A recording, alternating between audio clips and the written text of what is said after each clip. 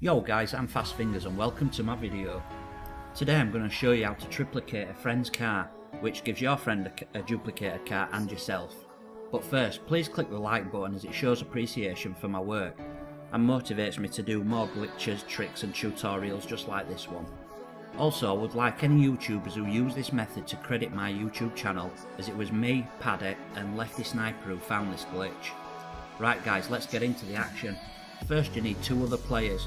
One will be the anchorman and the other will be the host. You will play the duplicator. The host needs to start a new invite only session and invite you and the anchorman into that session. The host is the person who owns the original car that is going to be duplicated. The duplicator is the person who glitches the car from the host's garage. The anchorman simply stays in the garage until it either kicks him out or the duplicator has got the car from the garage and put into his own. Sometimes it kicks the anchorman out of the garage, but then other times it doesn't.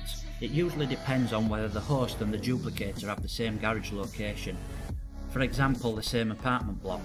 Also, if the duplicator has a full garage, the duplicated car will replace the car in his own garage, which was in the same location within the host's garage. So be careful guys. So the host needs to get everyone into his garage and make sure his spawn location is set to last location. This will spawn him outside his garage when he comes back into the session. The duplicator needs to set a spawn location to apartment. The host needs to walk out of the garage and hit the start button, then go to the online menu then hit leave session. Once they are out, he needs to just wait for the invite. Do not leave the single player house or apartment, just wait. When the host has left, the duplicator needs to hit the start button, then go to the online menu, then hit leave session. Do not leave the garage before leaving. When the duplicator is back in his apartment, he needs to first invite the, the host back into the session, and then walk to the front door of his apartment. But do not go near it. Sometimes the door is missing or transparent. This is an indication that the glitch has worked. But if it's still there, the glitch may still work, so don't worry guys.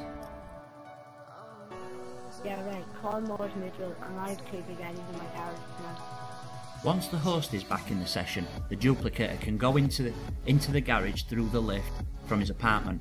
Once in the garage, they will notice that this, this is the host's garage. Get in the car you want to duplicate and leave the garage.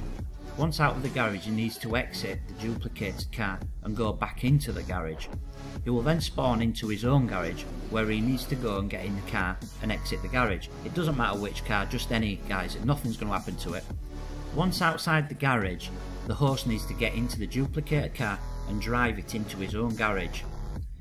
When the horse drives the car into his, his own garage, he will notice there is already one of these cars there. So the one he's just brought into the garage is one of the duplicate cars. However, the duplicator will notice a message saying his personal car has been destroyed and to Mors Mutual. So ring Mors Mutual and pay for the replacement car. Then get one of your friends to take you to the, collect the car. This car will need you to take it to Los Santos Customs so you can insure it. Then take it home and put it in your garage. So there you have it guys. Two duplicated cars from one car. It's a brilliant way to make some money. So once again guys, thanks for all the support and all the likes and all the subscribes. It's brilliant. My, my channel's just growing really fast and I'm, I'm really enjoying this. I've met loads of people online, some new friends. Yeah, it's brilliant. I'm going to keep it coming. Brilliant. Cheers guys. Laters.